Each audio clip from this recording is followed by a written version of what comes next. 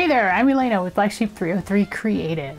And just in time for Black Friday, I want to share my thoughts on what electronic cutting machine may be right for you.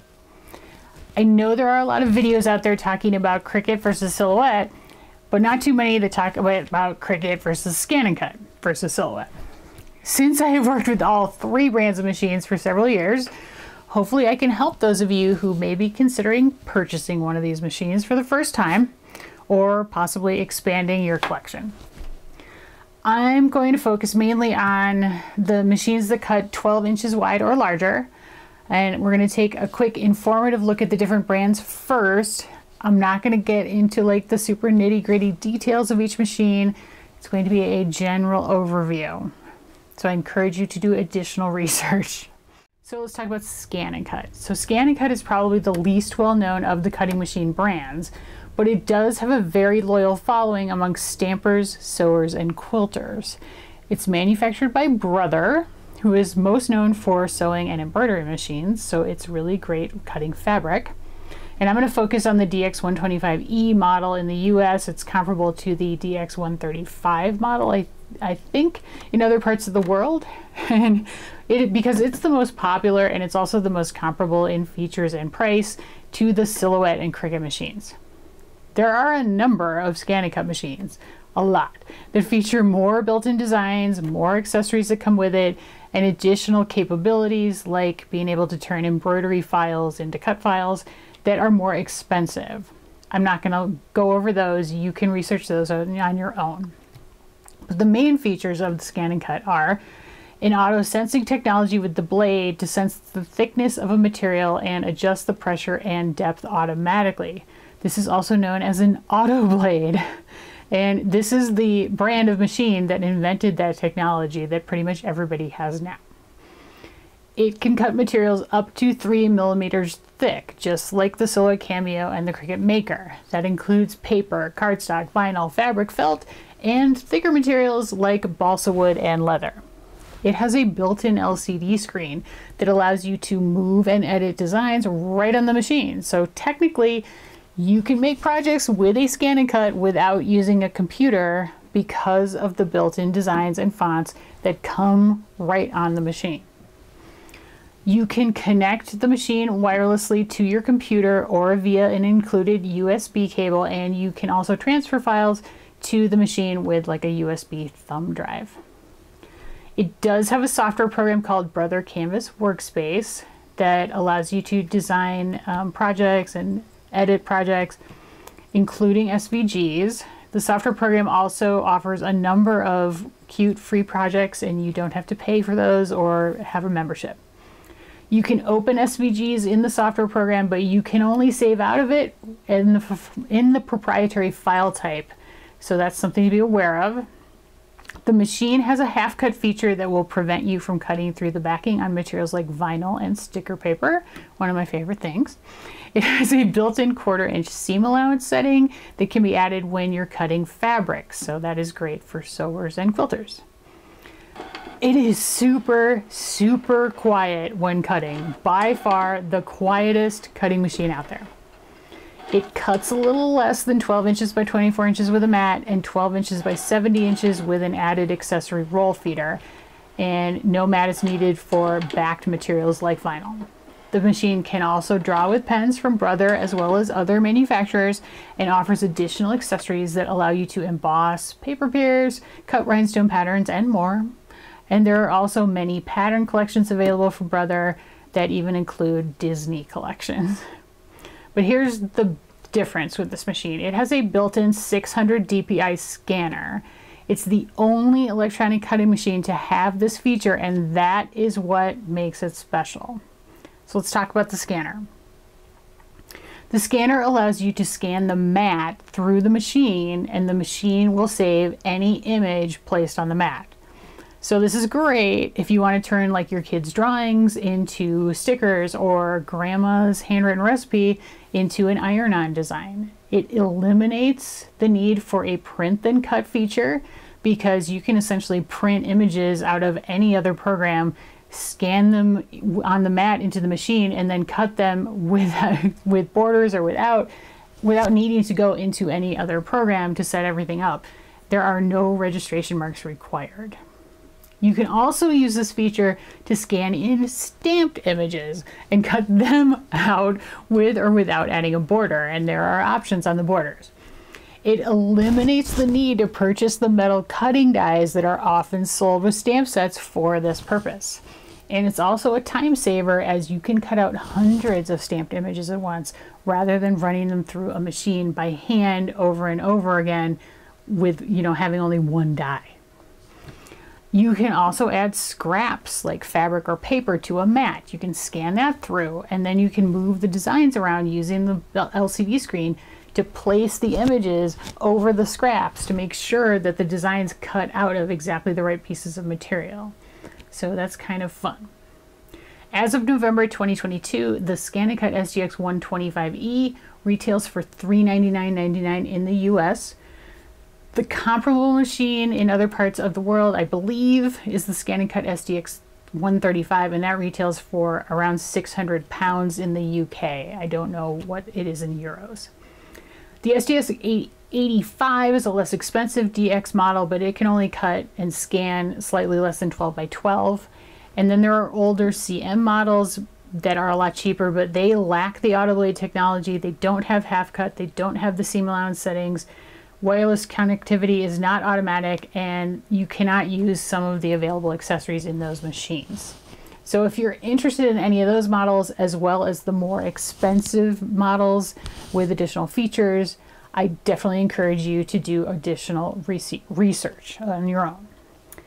I don't see these machines go on sale very often, if ever, unfortunately. The best thing I think to look for when purchasing a, is a package that offers the machine with like added materials and accessories at the same purchase price to make it a better deal. And I've had the best luck with that on hsn.com, Amazon, and swingdesign.com.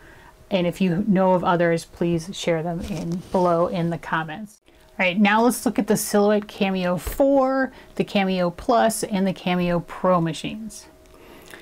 The main features for these machines are they use a dual carriage, with one carriage having the high force or pressure capacity, it's got the highest force or pressure capacity on the market. And this means that it should be able to cut even more materials that are up to three millimeters thick. It cuts all of the standard materials like paper, cardstock, vinyl, fabric, as well as felt, balsa wood, and obviously other thicker materials. Uh, it also uses an auto blade, but it requires, in my opinion, more finesse of the settings in the software to, you know, get the best results with that auto blade. You can connect via Bluetooth to your computer or with the included USB cable. It has a built-in roll feeder, which is very nice for long material, and a cross cutter on the back that allows you to trim off materials once you've fed them into the machine. So that's very nice. No additional purchase of a roll feeder. You can cut on the mat or matless with the built-in roll feeder on any of the Cameo machines. And they all have print and cut abilities in the software, of course. The machines can also draw with pens from Silhouette as well as other manufacturers and, and offers additional accessories like a rotary blade, a punch tool, and a craft blade for thicker materials. There are also third-party accessories that will allow you to engrave, as there are for the scan and cut as well. The machines work with, as I've been mentioning, the software program called Silhouette Studio, which has a free version and then three paid tiers in addition that offer additional file types that you can open and or save as and additional features. It's a very powerful software program and that will allow you to design your own SVG files, but it does have a learning curve. So you're going to need a paid version to open SVG files and the highest tier of the paid versions to save as SVGs out of the program. So the main difference between the Cameo 4, the Cameo Plus, and the Cameo Pro is the width that the machine can cut. So the Cameo 4 can cut up to 12 inches wide by 24 inches long on a mat or 12 inches by 10 feet long with the roll feeder. The Cameo Plus can cut up to 14.6 inches wide by 24 inches long with a mat and 14.6 wide by 10 feet long with the roll feeder. And finally, the Cameo Pro can cut up to 24 inches wide uh, by 24 inches long with a mat and 24 inches wide by 10 feet with the roll feeder. Obviously, the machines are physically larger, the wider the material they can cut, so the space you have to store and use the machine may need to be a consideration. And these are the only machines that can cut that wide, so the Plus and the Pro. The Cameo 4 as of November 2022 retails for around $300, the Plus for about 400, and the Cameo Pro for around $500.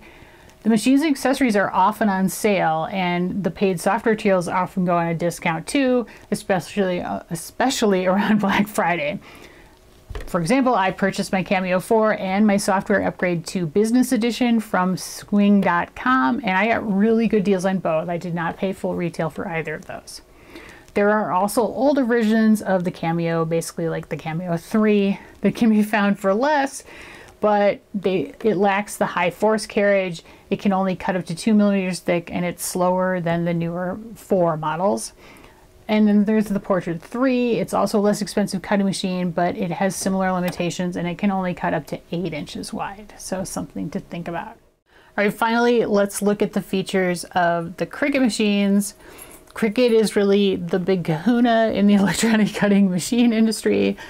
Uh, by my, you know, uneducated estimates, I would guess that it's probably 50% or more of the market um, and it offers a fairly wide array of machines. So the Explore Air and the Maker machines are the most comparable to the ScanNCut DX and the Silhouette Cameo machines. So I'm going to be talking mostly about those. The main features of those machines are now Explore Air machines. There are two versions. They can cut up um, like 100 or more thinner materials, including paper, cardstock, vinyl, and bonded fabrics.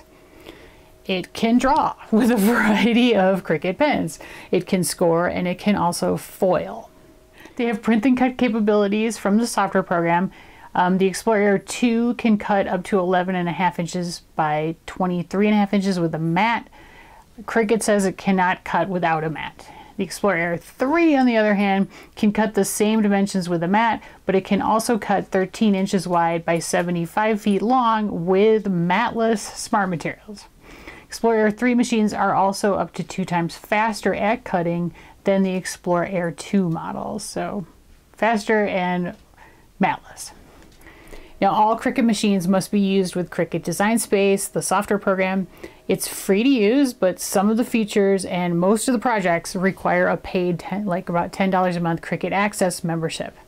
I personally just use the free version. I don't have any problem with that but that's up to you. The access projects and features are nice, so you may decide that it's worth it for you to join that.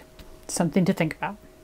Now, maker machines can cut up to 300 or more materials, including all the same ones paper, cardstock, fabrics, felt, but also balsa wood, leather, and materials that are up to 3 millimeters thick. It's similar to the scan and cut and Cameo machines.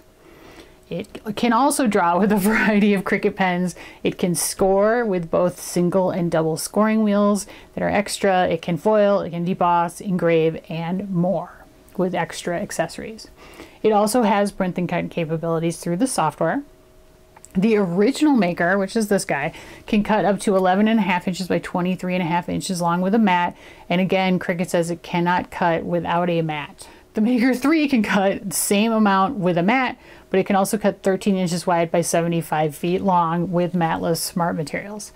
And just like Explore Air 3, the Maker 3 can cut to up to two times faster than the original Maker. So just like the Explore Air machines, Maker machines require the use of the Cricut Design Space software to use it. Both series of machines have a lot of accessories, tools, and materials that are available for it from Cricut. As of November 2022, the Explore Air 2 machines retail for 199. Explore Air 3 machines retail for 319. Original maker models retail for as low as 249. I saw that at Michaels. Now Michaels has them on clearance, although they are apparently not being discontinued, so no worries there. Maker 3 machines retail for 429. The machines are often on sale, and as are the accessories at both retail and online locations. And Michael's and Joann's in the US right now both have good sale prices as of the filming in November 2022. And Black Friday sales are also a great time to purchase one of these machines. So, what is my bottom line opinion on these machines, and who do I recommend them to? First, I'll give you my pros and cons for the scan and cut. So the pros. It is a super, super quiet machine. Definitely the quietest machine on the market. It has a scanner. If you're going to use that scanner, there is nothing like it. It's amazing. Cuts a lot of materials, just the same as the Maker and the Cameo, um, pretty easily, although I do have an exception that I'll talk about in a minute. The machine itself is really well made and heavy duty. It can be used without the software or a computer, although there is a learning curve to using just the machine as there is to also the software program. The free software program can open SVG files and it has cute free projects, like no membership required. The cons are that it's kind of expensive. Both the machine and the consumables, especially like mats, are extremely pricey. Like $35 for a mat. I personally had to have a lot of problems cutting vinyl with the auto blade, so I had to purchase the vinyl auto blade for $60. And it works great with that, but you know, that's unfortunately something I had to had to purchase extra accessories to make it totally work the way it should.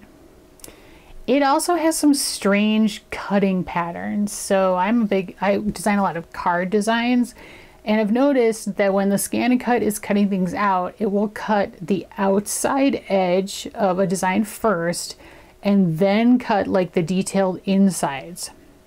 Now, that probably sounds like not that big a deal, but if your mat isn't very sticky, um, what can happen is once it cuts the outside edge, that kind of makes the, the cardstock just free. It's just floating on the top of the, of the non-sticky mat. So as it cuts, it moves around and you can, you know, and it doesn't stay in place and you can't get a good cut. And that happens quite frequently, unfortunately for me. The other two brands of machines do the opposite. They cut the inside pattern first and the outside edges last. So just something to be aware of. The Canvas Workspace software program is a bit limited and cumbersome, especially when like cutting and sending mats to the machine and you can't save SVG files from the software. And I want to explain that the way you send designs to the machine, you have to put things on the mat in the software program and then export them to the machine, cut them out of the machine, then go back to the software, change, like pull things off the mat, put the new things on the mat, export it to the machine, retrieve it on the machine, cut it again, and you go back and forth like that. And if you have a lot of colors that you're wanting to cut, that can get kind of long and tedious. So just be aware of that. and then because it is the least popular of the machines, there are limited there are a limited number of like video tutorials, YouTube videos, and classes that you can um, access in which to help you learn the machine. Now there are some and they are great. Um, I have some on my channel. So just be aware of that. Um, you may have to search a little bit to find uh, resources to help you. And it can also be kind of hard to find where to buy the machine, especially the higher end machines where that requires like a sewing machine dealer. So who do I think it's great for? I think it's great for people who stamp and don't want to invest the time and money into dies anymore. It's perfect for that. It'll save you time and money eventually. It's great for quilters and sewers. It does really amazingly well with fabric. It's great for anyone who wants to turn draw personal drawings or mementos into cut files using the scanner. It's also great for people who make stickers and don't have the patience to deal with the more complicated print and cut settings found in other programs. Again, you can just use the scanner. So anybody basically who's going to get use out of the scanner, this machine is for them. All right, what are my pros and cons for the Silhouette Cameo? So the pros are it's actually a pretty good price. Both the machines and the accessories are reasonably priced. And it cuts a lot of materials once you find the proper settings for those materials in the software program. And usually that's not too tough. The software program is extremely powerful and can do a lot, especially when it's upgraded to a paid version. And really, it's often on sale. Both the machine and the accessories are almost always on some kind of discount. And it's pretty easy to find where to buy. Both online and retail locations are pretty easy to locate. And there's a decent amount of like third party tutorials, classes, guides, etc., available to learn the machine and help you with the software program. Now, the cons. I think it's kind of flimsy construction. Like to me, it feels like this cover is gonna break like any minute, and it's really kind of light. The Bluetooth connection is iffy. Like I've had a lot of problems with the Bluetooth connection, and you may have to replace the Bluetooth transmitter on it, which isn't that hard, but it's kind of a pain there aren't a lot of things to do with the super powerful carriage. Like maybe that'll change in the future, but right now it doesn't seem like there's a real advantage to that. I think the software program, while awesome, is also extremely intimidating for newbies. And like the scan and cut, cutting from the software involves a lot of going back and forth and it can be a little bit cumbersome. So who do I think the cameo is correct is great for? Well, I think it's for great for people who are on like a bit of a budget because none of these like machines are cheap, but you want to cut the widest array of materials possible for the least amount of money. It's also great for people who are somewhat tech savvy and aren't going to be intimidated by the software program that I think can be kind of overwhelming for, for brand new people to the electronic cutting machine world. It's also great for people who want to create and test cutting their own SVG files, but do you don't want to invest in like a super expensive program like Illustrator. The Plus and the Pro are great for anyone who needs to cut designs larger than 12 inches, honestly. You know, if you had to, like, if I were going to buy one of the larger machines, I would probably buy the Pro because the Plus doesn't really offer that much extra width. It's only 14 and a half inches versus the Cameo's 12, but, you know, that's just me. I don't have space for either one of those. All right, so what are my pros and cons for the Cricut machines? Cricut accessories are pretty reasonably priced and they are often on sale, as are the machines, almost always. Um, it cuts lots of materials pretty easily once you find the proper settings, and that's not super difficult to do because there are a large menu of presets in Cricut Design Space to help you with that. The Maker series, in particular, cuts, and engraves, bosses, etc., with accessories on most material, like on more materials than I really think most people would ever really need to use or even try.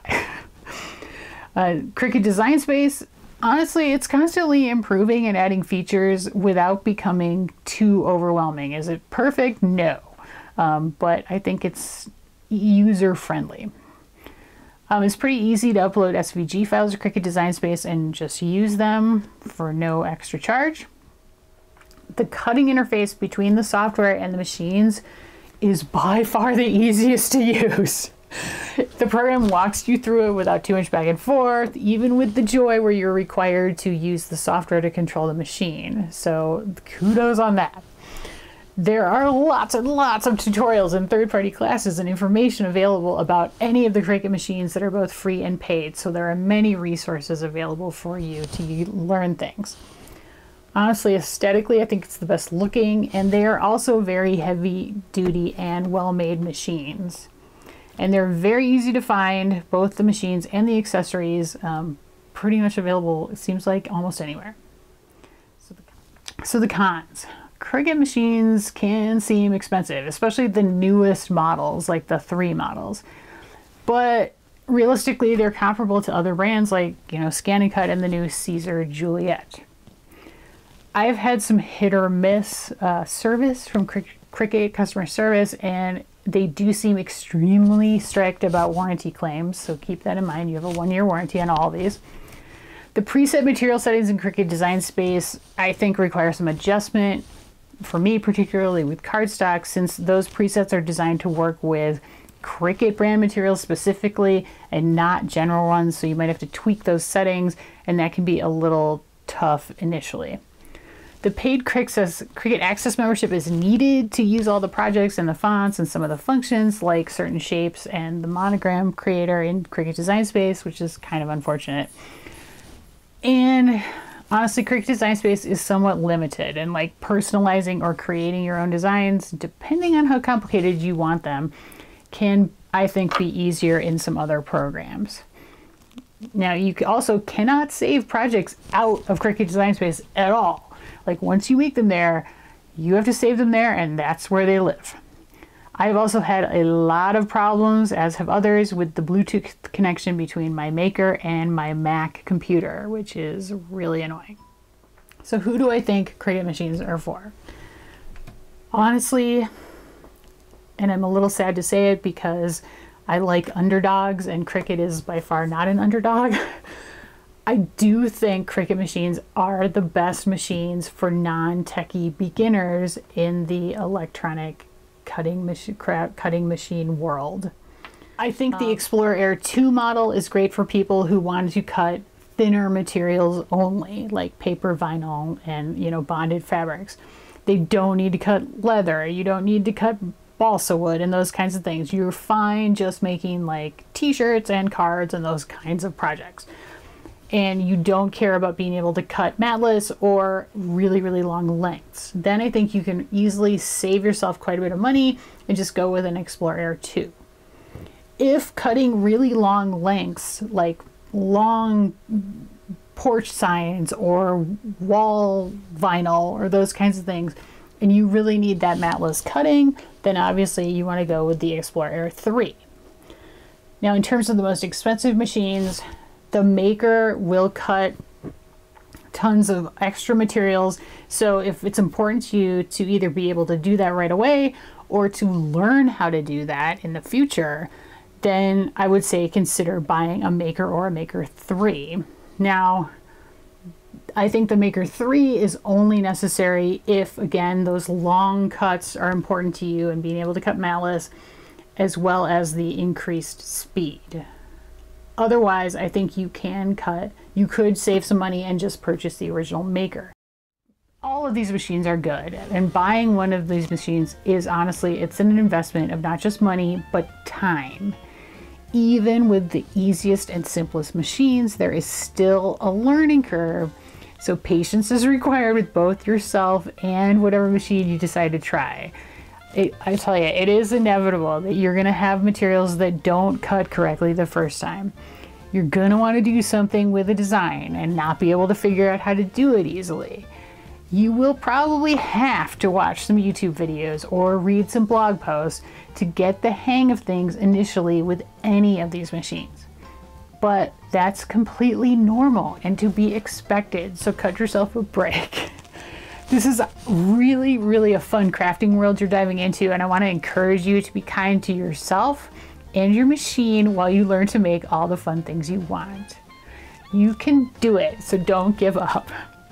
Now let me know in the comments if you found this helpful and what, if any, kind of machine you decided to buy. And if you know of additional sources, good sources for various machines, please share those with others as well. I'd love it if you give my video a thumbs up and consider subscribing to my channel for more project tutorials using Cricut, ScanNCut, and Silhouette machines. Thanks and happy holidays!